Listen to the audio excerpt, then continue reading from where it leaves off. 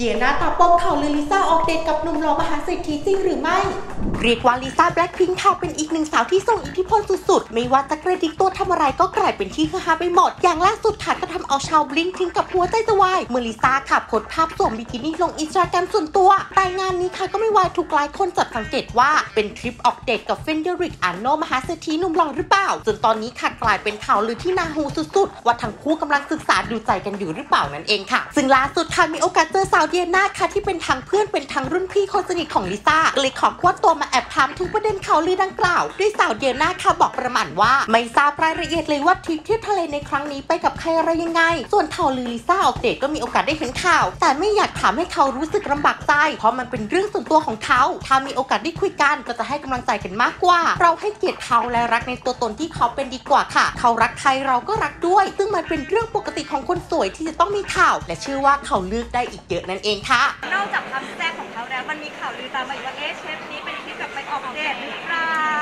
เหรอทำไมถึงเป็นอย่างนั้นอะ มีกระแสข่าวว่าไปเปรียบเทียบรูปกับครอบครัวของฝ่ายชายที่มีข่าวด้วยแล้วก็เหมือนไปเที่ยวที่สวิตด้วยกันอะไรอย่างเงี้ยสถานที่เดียวกันอะไรอย่างเงี้ย อันนี้ไม่รู้เลยค่ะไม่ไม่ไม่ได้รู้ detail อะไรเลยว่าไปยังไงกับใครเพราะว่าอย่างที่บอกว่ายังไม่ได้คุยยังไม่ทันได้แซวด้วย เลยไม่รู้เลยว่าอะไรยังไง เห็นข่าวอยู่ค่ะเห็นข่าวรอบตั้งแต่สักพักหนึ่งแล้วนะคะ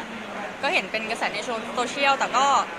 ยังไม่ได้ถามอะไรเพราะเดียร์รู้สึกว่ามันเป็นเรื่องส่วนตัวเขาเดียร์ก็ไม่อยากที่จะไปทำให้เขาลำบากใจในการที่จะต้องตอบ หรือว่าบางทีเขาอาจจะมีเรื่องเครียดอยู่แล้วเดียร์ว่าแค่ทัวร์คอนเสิร์ตก็เครียดแล้วนะเราก็เหนื่อยมากๆแล้ว เราก็จะเป็นการคุยแบบ ให้กำลังใจ support ว่าสู้ๆนะวันนี้คอนที่ไหนประเทศไหนบ้างเป็นอย่างนั้นมากกว่า เชื่อมั่นค่ะเดียร์คิดว่าเขาโตแล้วเดียร์คิดว่าเขาโตแล้วเขาเขาคิดมาถี่ถ้วนแล้ว ในการที่เขาจะทำอะไรหรือว่าจะลงรูปอะไรเดียร์รู้สึกว่าให้เกียรติเขาแล้วก็รักในตัวตนที่เขาเป็นกันดีกว่า เชื่อไหมหรอ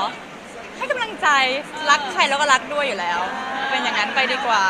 ธรรมดาค่ะผู้หญิงสวยก็ธรรมดาที่จะต้องมีข่าวอยู่แล้ว เป็นเรื่องปกติมาถึงว่าแบบเขาก็ต้องมีคนเข้ามาชื่นชอบเขาเยอะดีคิดว่าเขาเลือกได้อีกเยอะระดับนี้นี่ถามเยอะเหมือนกันนะเนี่ยอย่าโดนคอมเมนต์ลงนะเนี่ยจะผิดได้ไหมไม่ได้ดีเป็นคนจะผิดคนไม่เก่งเลย ไม่เก่งเลยไม่เก่งเลยก็ให้ลุ้นกันไปเรื่อยๆกัน ค่ะ ให้กำลังใจเขากันไปดีกว่า แล้วก็เดี๋ยวว่ารออัปเดตอะไรที่มันจากปากเขากันดีกว่า